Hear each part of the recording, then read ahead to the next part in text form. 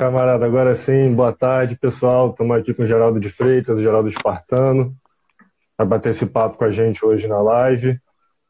E aí, começa falando pra gente aí como é que, como é que tá, né? Essa situação em tempos de coronavírus, está conseguindo se manter em casa, como é que tá fazendo para passar o tempo aí? Uma boa tarde, Geraldo.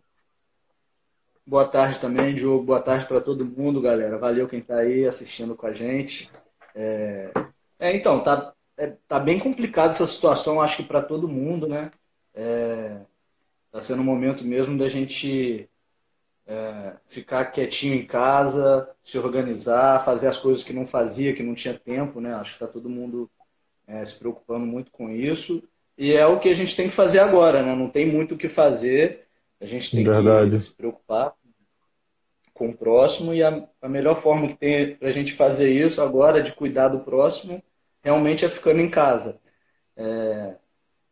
Mas é complicado, ainda mais a gente que é atleta, né? A gente fica muito ansioso. É... Eu como pra caramba, como o dia inteiro, o peso vai subindo. É...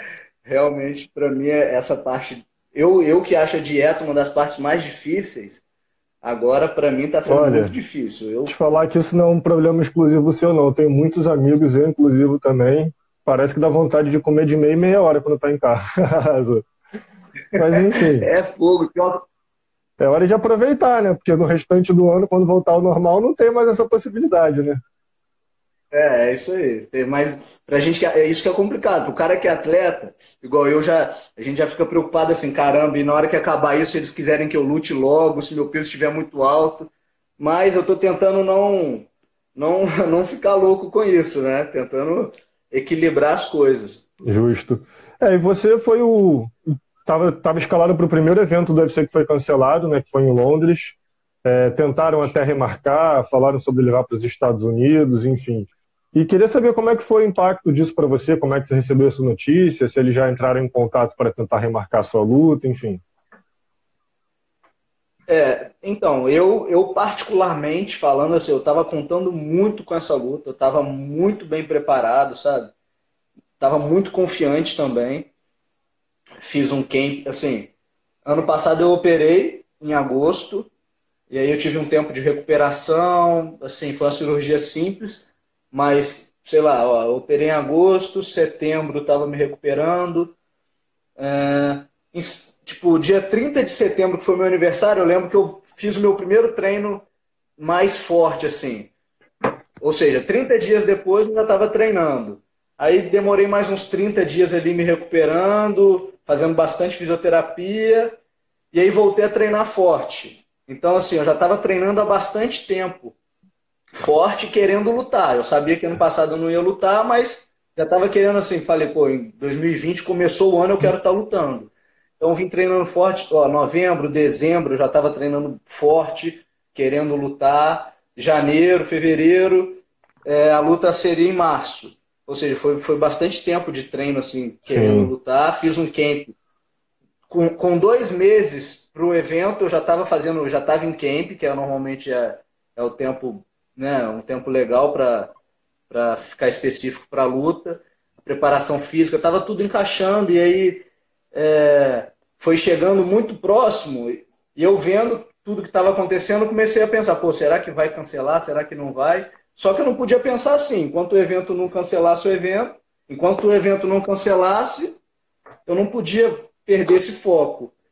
Só que como eles não, até assim, foi na sexta-feira, uma semana antes do evento, na sexta-feira eles mandaram um e-mail confirmando, ó, oh, vocês vão lutar, é, vai, vão ter médicos, qualquer sintoma que vocês sintam, entre em contato, vocês vão ser testados o tempo todo. Sim mandaram a cartilha de, de saúde, né? Falando para a gente higienizar as mãos o tempo todo e tal.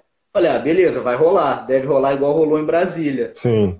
Aí, no sábado, não, não falaram mais nada. Quando foi no domingo, o Dedé que entrou em contato comigo diretamente para me dar a notícia.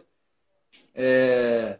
é aquilo, né? A gente fica, de qualquer forma, a gente já fica chateado por ter, entre aspas, perdido a preparação. Você se prepara e fisiologicamente falando, se você não lutar naquela data específica, você vai perder todo aquele preparo que você fez. Então, Sim. isso já é muito ruim, é muito frustrante. Fora a questão do dinheiro, né? A gente conta com dinheiro. Se a gente não luta, a gente não recebe. Então. É, nessa, nessa parte do dinheiro, o Dana White deu uma entrevista essa semana dizendo que vai compensar né, os atletas todos. É, o Bellator, inclusive, já compensou. O Patrício Pitbull disse que até deram um bônus pela vitória para ele. Não sei se é porque é o campeão, né? Uhum. Enfim, é, já entraram em contato com você? Se não entraram, você está tranquilo em relação a isso? Tipo, confia que realmente, pô, se o Dana White falou, eles vão pagar, tudo certo. Só que é aquilo, né? Talvez você poderia estar tá, ter algum, aquele bônus de vitória, um bônus de performance da noite, dependendo, né? Vai que, pô, com esse, tempo, com esse camp todo, ia chegar na ponta dos cascos, é. né? Enfim, é, como, é, como é que tá isso aí? Todo lutador do UFC, eu acho que fica sonhando com isso, né? O bônus é, é vencer mais o bônus da vitória. Mas, é, eu, sim, eu confio, o UFC é a maior organização de MMA do mundo. Sim. É, eles têm condições de pagar, não entraram em contato com a gente ainda especificamente sobre isso e sobre nada. Tem muita gente falando assim, ah, eles já estão entrando em contato para saber quando você vai lutar e tal. Não estão, até porque está muito incerto ainda, né? Eu até entendo esse lado. É... Então, não, ainda não, não comunicaram a gente sobre nada, sobre reembolso, sobre nada disso. É... E a gente também não está cobrando e e sendo incisivo nessa questão, porque é um momento muito delicado. Eu acho que, por mais que, que o UFC tenha condições, é ele também está né? Tá sofrendo. É, ele também está sofrendo com as consequências do, de tudo que está acontecendo. Então agora a gente está mesmo aguardando e esperar para ver, né? Vamos ver o que, que vai dar essa história toda aí. É, realmente. Mas enfim, meio isso tudo, Dana White disse que vai fazer o UFC 249, né? Em abril. Falaram que tem algumas lutas já sendo remarcadas. Ele disse que o local vai permanecer secreto. Você é, está confiante de que esse evento possa ser retomado e que talvez a partir desse manter o mesmo formato, né? Tipo, talvez levar para um país mais distante que a doença esteja num nível menor, fazer com portões fechados. Você acha que é isso que deve acontecer? Sim, só fazendo um exercício de, de palpite aqui, né? É, eu acho que é, é possível sim, né? É, você vê que alguns governos já estão. O, o, o, Trump, lá nos Estados Unidos, já preocupado em retomar algumas atividades e tal. Não vou entrar na, em mérito se isso é certo ou se é errado, mas Sim. algumas né, já estão pensando em retomar algumas atividades e, e com certeza o Dana White quer fazer a coisa acontecer, né? Eu acredito que se eles fizerem acontecer, eles vão tomar todos os cuidados necessários, mas também, é, assim, é complicado, porque não depende só dele, não depende, depende das empresas de aviação já estarem podendo fazer todos os, todas as viagens, é uma série de, de, de fatores que vão influenciar, né? Mas eu acho que é possível sim, eu acho que é bem possível isso. Agora, tem que ver também a condição dos atletas, né? Eu não sei até que ponto vão estar preparados para dar um grande show, porque acho que não acho que ninguém está conseguindo fechadas, treinar. Né?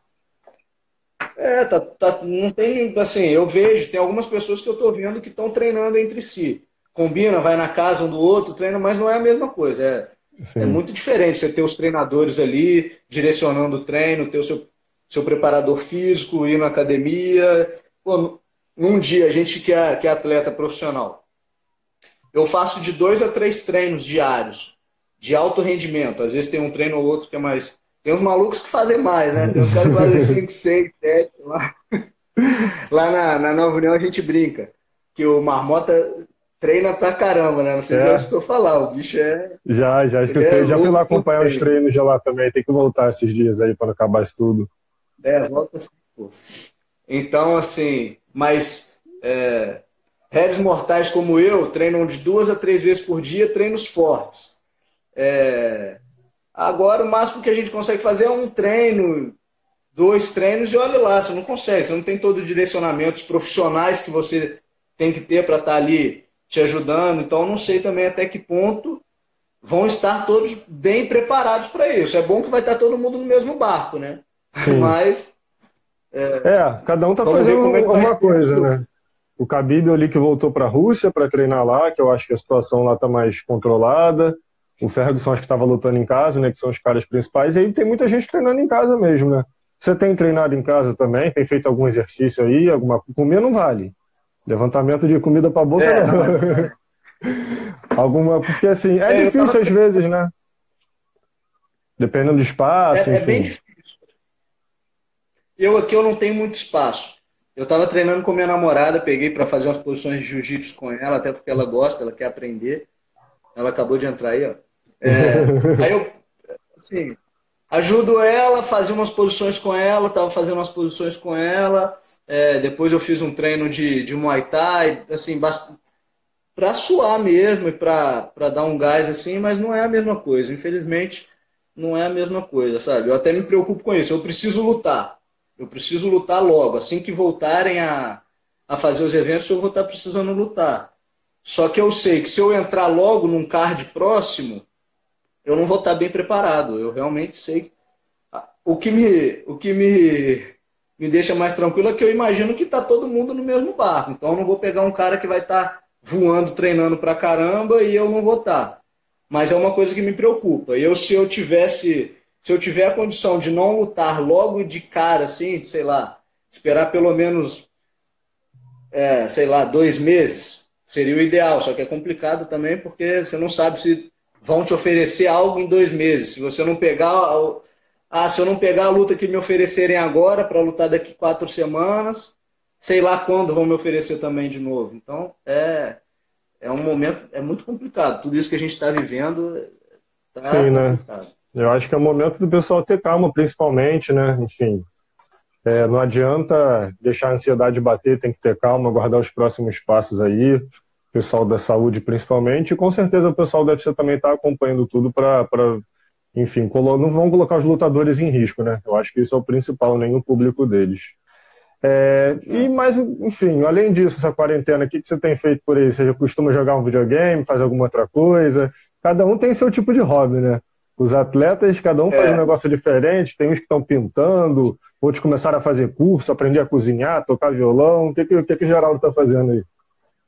É, cara, outro dia eu, eu cozinhei, eu tinha perguntado para minha mãe como é que fazia um, um frango. Depois eu vou, depois eu vou fazer o vídeo. Ficou bom pra caramba. Eu imaginei que eu ia fazer. Vai, receitas com receitas de lutador. É, isso aí. Aí eu cozinhei aqui, ficou gostoso pra caramba, foi bom, porque no dia a dia eu não consigo cozinhar. Eu, eu até acho que eu não gosto de cozinhar, mas eu gosto. Aí, porque não tem tempo. Então, você vai cozinhar e depois tem que lavar a louça, tem que, tem que sair correndo para outro treino, tem que descansar. Então, não cozinha. Aí eu tirei esses dias, sei lá, deve ter uns três dias atrás, falei, não, vou fazer a receita que minha mãe me ensinou. Aí fiquei a tarde toda fazendo, terminei de fazer às 5 horas da tarde, comi, tava gostoso pra caramba. Então, deu para eu fazer isso. Eu gosto de jogar videogame, jogo muito videogame, mas eu não tenho jogado. É, e assistindo muita série. Estou assistindo The Last Kingdom. Já assistiu? Não, ainda não, mas está na lista já. Tô com uma lista aqui para começar a ver agora. Acho que tem muita gente é, passando tempo é série. Pô, aí fica a dica aí pro pessoal, dica de série do Espartano. E falando em Espartano, esse apelido aí, como é que surgiu? Já deve ter. Conta pra galera aí que não sabe como é que surgiu esse apelido. Cara, toda vez que alguém me pergunta sobre esse apelido, me dá uma felicidade enorme, porque quando eu, eu, eu me dei esse apelido, eu vou contar a história toda, você vai entender por quê. E para todo mundo também. Quem não sabe, tem um amigo que estão aí que conheceu um cara também. Então, para mim, é, é, muita satisfação poder contar essa história. É, eu tinha um grande amigo, um irmão meu, é, já tinha, assim, desde que eu treinava lá em Conselheiro Lafayette, que é a minha cidade, eu sou do interior de Minas Gerais, Lafayette. Esse meu amigo era um dos poucos amigos é, que, que me apoiavam pra caramba, que eu falava os meus sonhos, que são, são de viver isso tudo que eu estou vivendo hoje em dia. Ele treinava junto comigo também, é, o Igor Silva. A gente ficava compartilhando nossos sonhos, coisa de, de sonhador mesmo e um apoiando o outro, incentivando, e ele me acompanhava pra caramba e acreditava muito em mim. É, e era um sonho muito longe de, né, pra gente lá no interior, não tinha uma referência, alguém, alguém perto que tinha alcançado tudo que eu, que eu almejava, que eu almejo, que eu sonho em alcançar. É, e a gente acreditava no sonho. E aí foi passando o tempo, eu fui fazer minha. Antes de eu fazer minha primeira luta, teve uma. Ele era bem sonhador, assim, igual eu.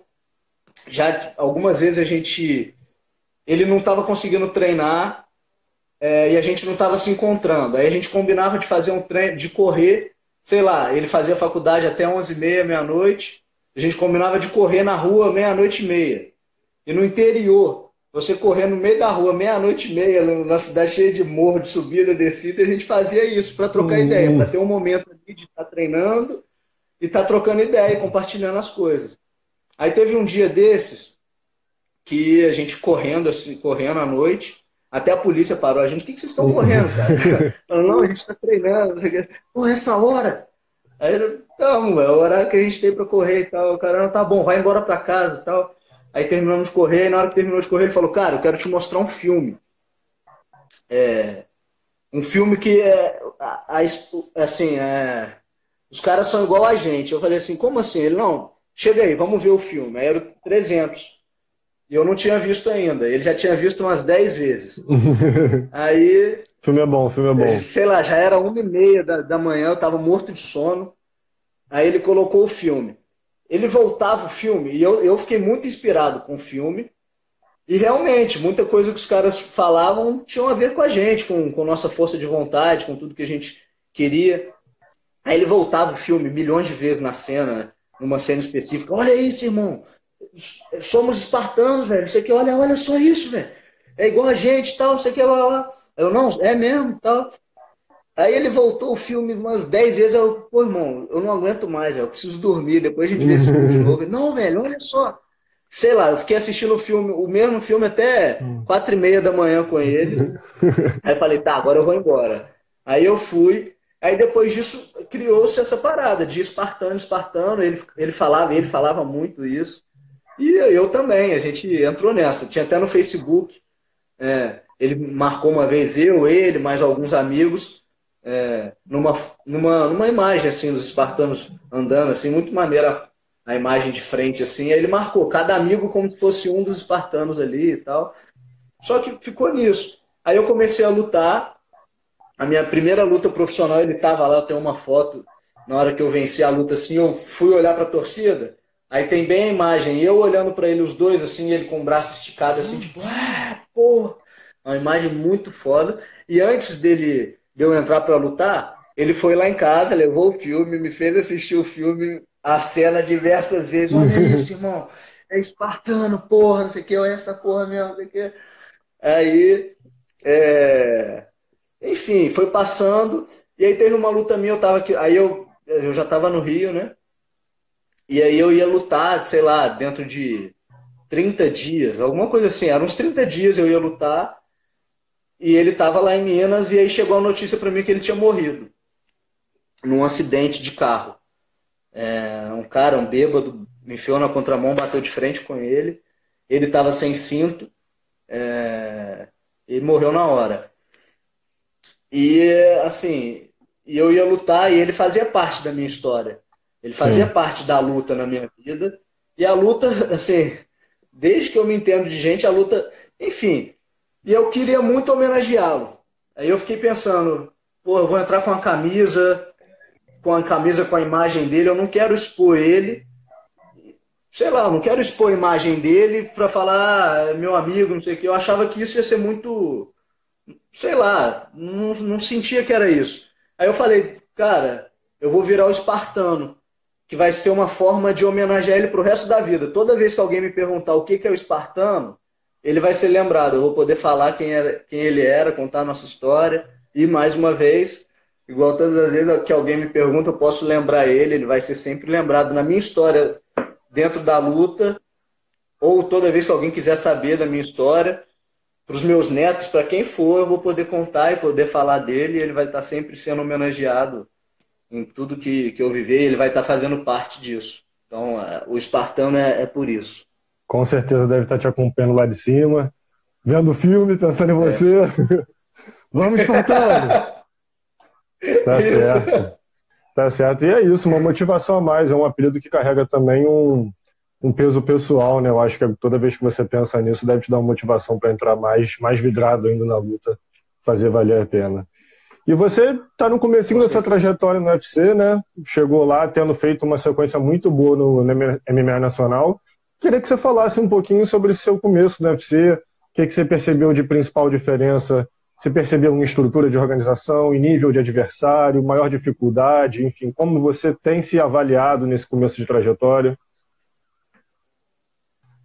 É, assim, a princípio, eu, eu realmente coloco, eu não sei se foi uma, uma forma de eu não perder o foco, mas eu, eu, eu consegui enxergar que o que eu já fazia não mudava em nada. Eu, até para não deixar com, com que isso me atrapalhasse. Tipo, ah, eu estou no UFC agora. Não. Eu faço o que eu sempre fiz, o que eu sempre me preparei para fazer. A única diferença é que é o maior evento e que eu vou lutar com os melhores. É... Mas que não muda em nada o que eu faço. Enfim, então eu sempre tentei colocar isso bem na minha cabeça desde que eu entrei, para que não que não me atrapalhasse, para que não tivesse pressão. Mas é, é outra estrutura realmente. É, a forma como o evento te trata. Tipo, você tem tudo que você precisa, tudo que, que, é que um atleta precisa para dar o seu melhor, eles, eles oferecem, sabe?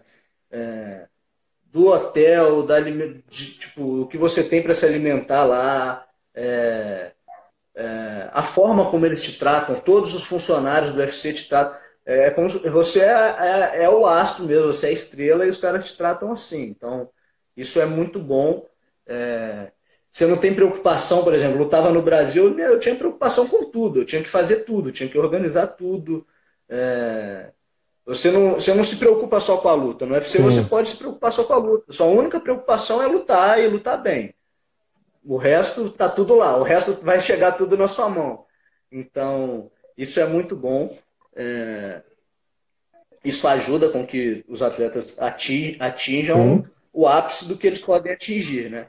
Isso é importantíssimo. É...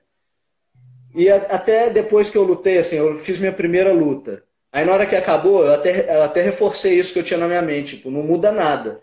Aí acabou assim, até foi com minha namorada, encontrei ela, falei, caramba, muito bom. A única diferença é que agora eu tô ganhando bem, pô. Então, isso, isso é, é, é exatamente, é o que todo atleta merece, né? Mas sobre a minha trajetória, eu acho até assim, eu vivi muitas coisas aqui na aqui lutando no Brasil. Eu, eu peguei caras duríssimos. Eu, eu realmente, muita gente fala, eu realmente foi assim. Eu peguei, lutei duas categorias acima da minha, lutei, peguei luta em cima da hora, igual grande, grande parte dos atletas brasileiros fazem, né? Então isso me trouxe muita bagagem muita confiança de enfrentar qualquer um. Eu falo, pô. E eu vejo, muitas vezes eu reparo que lá fora acontece um pouco mais daquela história da, do empresariamento, de escolherem um pouco mais de luta, não, não desmerecendo a qualidade técnica dos caras, mas os caras eles fazem um pouco mais isso. A impressão que eu tenho é essa. Então, isso me trouxe muita confiança de falar, pô, aqui no Brasil, eu quero. Muitas vezes a gente vê o cara lá com cartel assim, 20 lutas, 20 vitórias. Eu falo, pô, solta ele aqui no Brasil para ele lutar, para ele passar a dificuldade, dificuldades que a gente passa, pegar a luta em cima da hora, pegar a luta com qualquer um. Não é só dificuldade na luta também, né? Dificuldade na organização, às vezes, na estrutura do evento, não é nem só a dificuldade da luta em si, né? Dificuldade da vida que é mais difícil, né? Exatamente. Então, isso me deu muita confiança. É... Mas não, não senti, eu, eu lutei, eu só lutei com, com um, um, gringo, né? Só lutei com a minha, minha última luta, né? Que foi com o Chris Gutierrez, que era um americano. Ele era um cara duríssimo, mas duro tanto quanto os brasileiros, né? Então, às vezes a gente fica, caramba, como é que vai ser? Vai ser muito diferente? Não é. é todo mundo é de carne e osso igual e eu, eu tinha um pouco dessa, dessa essa dúvida assim, pô, como é que vai ser lutar com um cara de outro país, não sei o quê, deve ser muito diferente. Não é, o cara, ele tinha as qualidades dele, assim como vários brasileiros que eu lutei tinham também, então não mudou muito para mim. O que mudou, por exemplo, essa minha última luta, que eu acabei perdendo, eu reparei que tiveram coisas que aconteceram comigo antes da luta, dentro da minha cabeça, que estavam me atrapalhando, sabe? Mas eu não acho que foi porque era no UFC ou porque. Eu, foi, eu acho que eu poderia ter perdido se fosse uma luta fora do UFC, se fosse uma luta aqui no Brasil também. Acontecer, sabe? Minha cabeça, algumas coisas, algumas pressões, alguns problemas pessoais que eu estava passando, eu deixei. Com, acabou que eles me estavam me atrapalhando nos treinos, na minha própria autoconfiança, assim. Enfim, eu acho que foi mais comigo mesmo, acabou vindo a derrota. É, até muita gente acha, eu também achei que eu não merecia ter perdido, eu achei que. Eu imagino assim, se eu fosse juiz e tivesse assistido a luta, eu não teria dado para o meu adversário. É, só que eu sou. Eu, eu, eu, eu, não sou, eu sou parcial, né? Sim. Mas muita gente, muita gente mesmo, a maior, a maior parte dos sites, todos os sites do mundo, todo mundo estava falando que que o justo era ter, terem dado a vitória para mim. É, só que, mesmo assim, eu acho que a melhor coisa que poderia ter acontecido foi a derrota, sabe? Porque eu, eu, eu, precisava, eu precisava aprender algumas coisas com ela e eu acredito que eu aprendi. Até por isso, essa última luta foi uma grande frustra frustração, porque eu queria ter colocado em prática as coisas que eu tinha aprendido, sabe, com a última derrota. Então, isso também, voltando lá na pergunta anterior, foi bom, eu acho, assim, sabe? Foi bom não, foi, foi frustrante para mim porque eu não coloquei em prática sim. tudo que eu tinha aprendido. É, pessoal aqui, o Andrezinho falando que você venceu sim, todo o grupo achou isso, perguntando como é o carinho dos fãs também. É, e aí você estava falando, né, agora dando gancho desse lado mental, né, que tipo, não foi nem questão da luta que te atrapalhou, como é que você vê hoje a importância disso por um atleta? Tem muito que ainda, porra, casca grossa, negócio de psicólogo, mental, não, aqui é mente de. Mas, enfim, às vezes as pessoas têm um problema que não nem percebe o quanto aquilo consome ou afeta. E eu acho que, tipo assim, eu, minha opinião, eu sou jornalista, né? não sou lutador, mas é tão importante quanto estar tá com o físico em dia. Né? Não importa nada o cara estar tá ali voando e a cabeça dele fraca, um pensamento de derrotado ou com algum problema, enfim. Para você e no geral, como é que você vê a importância disso? Como você tem lidado com isso também? É, isso, então, exatamente. Eu até estava fazendo psicóloga. É, é, eu já fiz, eu, eu, fazia acompanhamento com uma psicóloga um tempo atrás. Eu estava lutando aqui no Brasil e eu estava passando por, por momentos muito difíceis, sabe?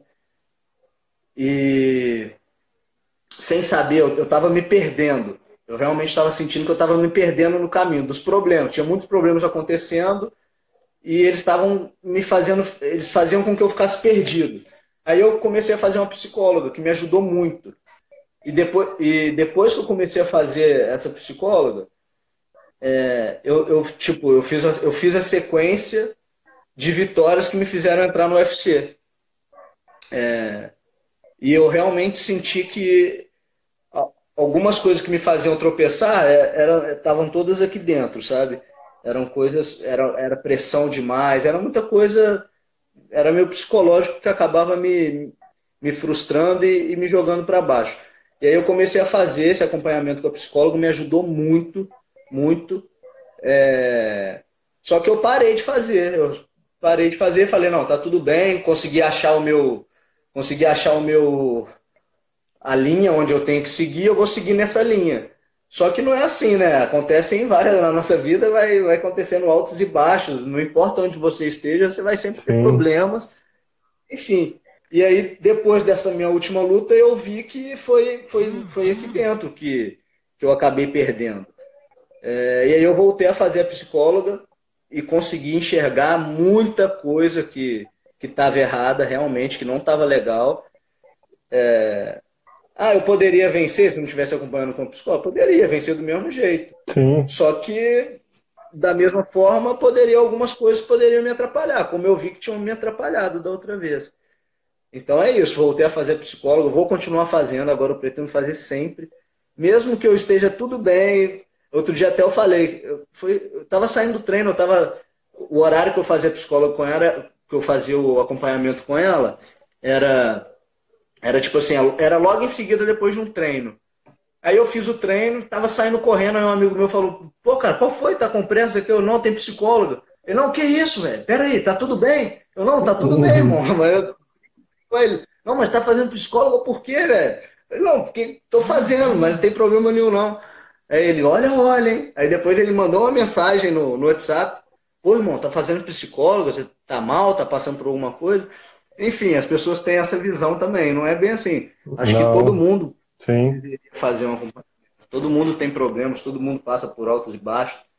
E, e você, eu acho que todo mundo precisa de um psicólogo, não só quando você está em baixa, não, quando você está em alta também. Você precisa ter, se entender, entender o que está acontecendo ao seu redor, entender o que está passando dentro de você. E é isso, voltei a fazer. Aí mesmo que eu não faça toda semana, às vezes eu vou, ah, não, eu tô bem, não vou essa semana, vou de 15 em 15 dias, mas agora Sim. eu vou, vou estar tá sempre.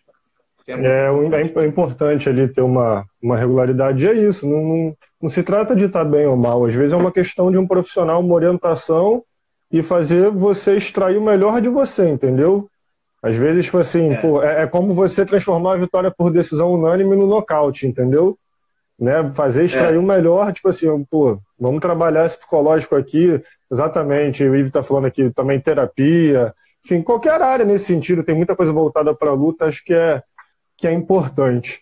Falando um pouco agora da, da sua categoria no UFC, né? Como é que você tem visto ela? A gente vai ter uma luta agora, né? não sei nem se vai rolar o UFC São Paulo, né? Mas está programado para ter uma luta importante pela divisão no UFC São Paulo.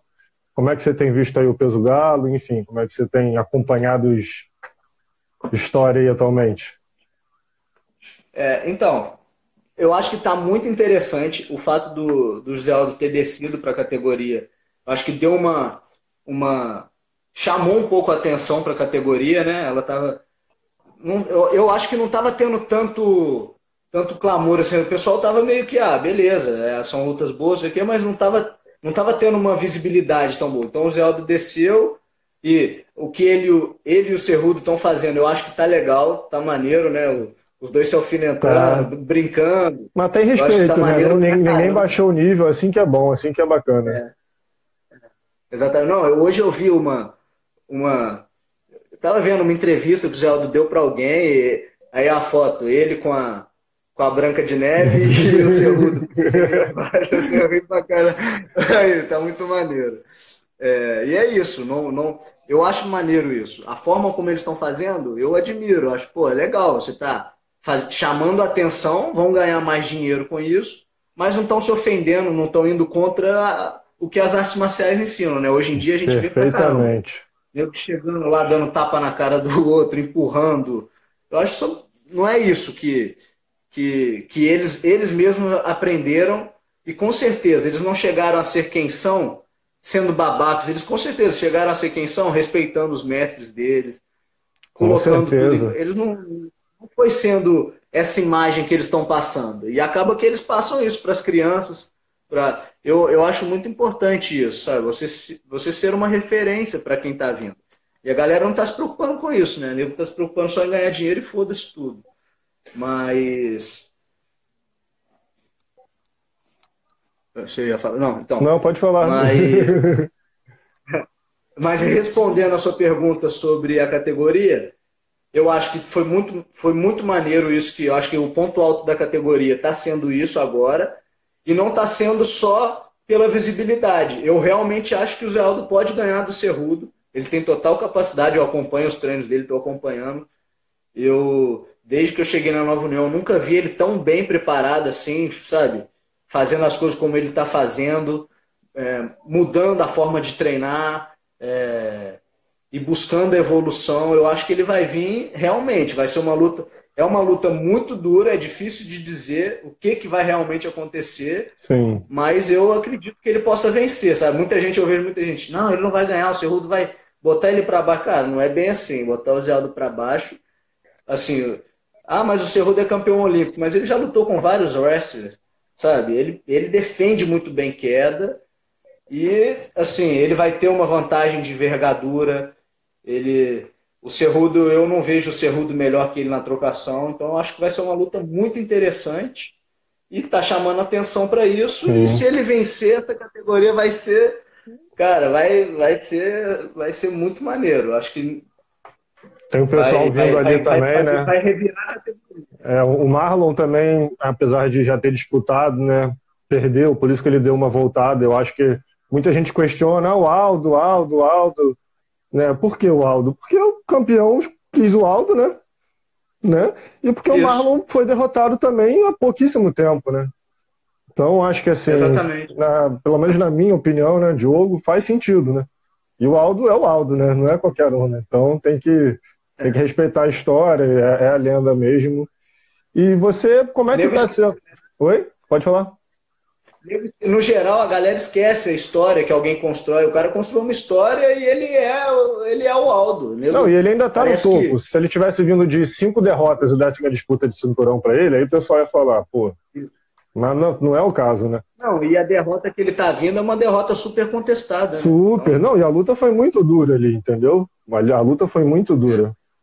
É, enfim, você estava falando do Aldo, né, de referência, contou a origem do seu apelido, e fora do, assim, o pessoal que você via lutar quando começou, o pessoal que você acompanha hoje, quem são as referências, em quem que você se espelha, quem que você gosta de ver lutar? Pode ser brasileiro, não precisa ser brasileiro, pode ser de outra luta também, enfim.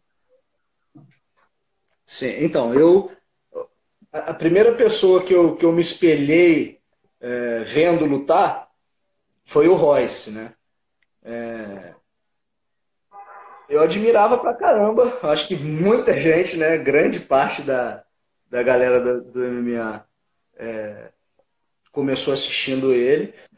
E assim, um cara que eu, que eu sempre admirei muito é, é, o, é o Jorge Sampierre. Eu gostava muito, assim, é um cara que eu admirava pra caramba vendo ele lutar, porque ele era muito inteligente, sabe? E é o que ele falava. Ele, ele não era o melhor em nada, mas ele era o melhor que conseguia fazer tudo ao mesmo tempo. E ele era muito inteligente lutando mesmo. Então, é um cara que eu admiro muito a forma como ele lutava. É... Alguém que vem na minha cabeça assim de prima é ele, sabe? É... Eu, eu tinha o Jacaré como, como alguém que eu admirava muito no jiu-jitsu e aí nessa transição para o MMA, ele sempre lutou, né? Já tem muito tempo que ele luta, mas eu não via quando ele estava lutando jiu-jitsu, eu não via, eu não, não, conhecia ele lutando MMA, mas eu já admirava ele é, no jiu-jitsu. Aí ele começou a lutar o Strike Force, então eu sempre torci muito para ele. Então é um cara que também me inspirava muito, que era alguém do jiu-jitsu lutando MMA. É, Demian Maia também, que é do jiu-jitsu, acho. É, Você começou no jiu-jitsu? Comecei no jiu-jitsu. E chegou a disputar muita competição, ganhou. Você acompanha hoje em dia ainda? Você vê os caras que estão ali no, no, topo, quem ganha, quem é campeão mundial, você ainda acompanha um pouquinho? Cara, eu acompanho, mas eu acompanho bem de longe. Eu não, não tô 100% por dentro, não, mas minha grande, a grande maioria dos meus amigos são do jiu-jitsu, são competidores. Então, e eu tô sempre treinando com a galera, então eu tô sempre vendo a galera falar e tal, mas eu não acompanho muito. Mas eu, eu tô ligado, né? Tipo, é, nos eventos, quem são os campeões, só que eu não, não tenho acompanhado muito luta, sabe? De, de jiu-jitsu. Mas competi muito jiu-jitsu. Eu comecei a treinar, eu acho que com 11 ou 12 anos de idade. Com 11 para 12 anos de idade eu comecei a treinar e, e competia direto. Eu competia todo mês, eu estava competindo. É, tinha muita competição regional, né, lá, na, lá na, perto onde eu lutar, onde eu treinava, que é Lafayette, então eu competia muita competição regional, disputava os eventos lá estaduais, né, ia muito para Belo Horizonte. E aí quando eu eu comecei, era, ó, é, foi quando? Eu não sei exatamente data, é, assim, 2000 e, 2013, mas eu quando eu tinha 18, uns 18 anos de idade, 19 anos de idade, eu me mudei para o Rio. Eu vim para o Rio para realizar o sonho de ser lutador. E aí eu já comecei a não competir tanto jiu-jitsu. Até, até meio que, não me arrependo, mas eu queria ter competido mais. Mas eu comecei a visar muito só o, só o MMA e, e comecei a competir menos. Mas continuei competindo. É, disputei seletiva da DCC, é um evento que eu quero lutar ainda quero me preparar para lutar, o ADCC. Quando eu, quando eu lutei, eu, eu bati na trave, é, não consegui a vaga, mas eu, eu lutei muito bem, cheguei perto.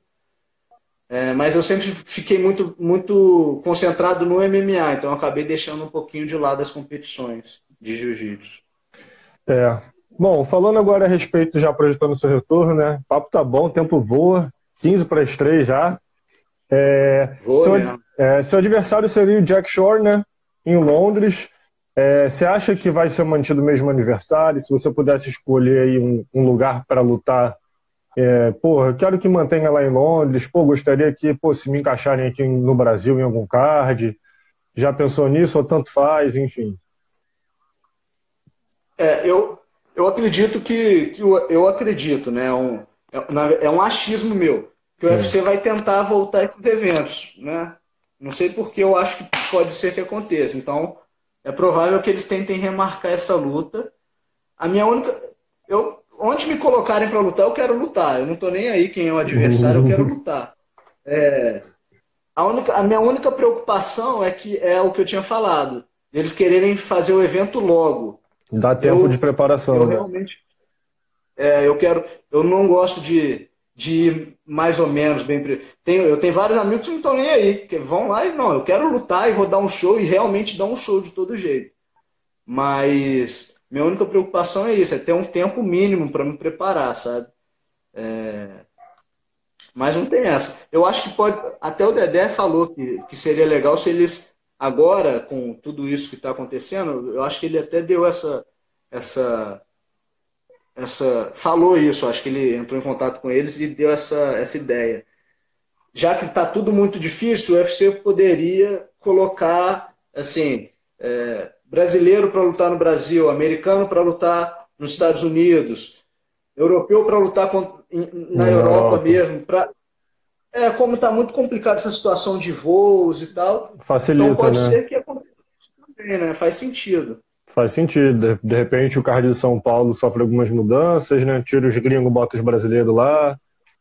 Vamos aguardar cenas dos próximos capítulos, né? E aí, antes da gente encerrar aqui fazer a última perguntinha, né? Até porque sempre a gente vai fazer matéria depois, muito atleta acompanha. É, muitos sofrendo com a dificuldade financeira, né? Você, Geraldo, como é que tem feito? Tem alguma dica para dar? É, enfim, pessoal que agora que que vive de luta, né? Tem muita gente que vive de luta, não é só lutador, mas enfim, tá ali ao redor. Ou então dá a sua mensagem para essa, essa rapaziada aí. Não são só eles que estão sofrendo, todas as classes estão sofrendo, né? Mas enfim, manter a calma aí. O que, que você pode falar nesse momento? É, agora é complicado demais falar isso, porque eu imagino que tenha pessoas que não tinham reserva alguma, alguma, alguma para esse momento. É, é até complicado, porque no Brasil é difícil isso, né? A gente, a quantidade de impostos que a gente paga, tudo, então é difícil, mas é realmente tentar juntar dinheiro quando assim que puder para uma ocasião dessa. Eu estou sofrendo com isso, eu não consegui juntar dinheiro, até porque também não lutei muito. Ano passado lutei duas vezes, operei, não deu para lutar mais uma, queria ter lutado mais uma. Então, o dinheiro que eu ganhei estava sendo para sobreviver, eu não estava conseguindo juntar dinheiro, eu não consegui juntar dinheiro. E aí, quando aconteceu isso agora, agora eu estou respirando pelo canudinho, né? Mas estou sofrendo com isso também, porque eu não tenho dinheiro guardado, estou com a quantidade que dá para eu sobreviver mais, mais um mês, dois meses aí, para eu viver mais um mês, dois meses. É... Mas é isso, acho que é muito importante que a gente se preocupe com isso. Eu vou até passar a me preocupar mais nas próximas vezes, vou tentar é... guardar o máximo de dinheiro possível mas eu, eu acredito muito em Deus, eu tenho muita fé em Deus.